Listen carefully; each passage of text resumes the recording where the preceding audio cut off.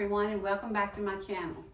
Today, my goodness, do I ever have a treat for you. I'm in the home of my dear friend, dear sweet friend, Gail Reeder. She lives in Scottsville, Kentucky, and her home is just breathtaking. It's so beautiful, and I'm gonna tell you, pictures just do not do it justice. I know some of you may have seen her home before on another YouTube tour, um, on um, uh, in magazines. She's been in magazines, but it is absolutely gorgeous. So I'm excited today to, to go through and share her home with you. I also wanted to share for you, Gail has written a book. Um, it's called The Four Seasons of My Primitive Life. And it's such a, a sweet book. It's, it has uh, details of her home. Um, mostly, it, it, the part that touched me was just, um, it was very inspirational. Gail's gone through a lot of um, tragedies in her life and just to see how she was able to turn things around and find light at the end of the tunnel. And, and I know she used just her love of, of decorating, her love of this kind of stuff to, to get her through.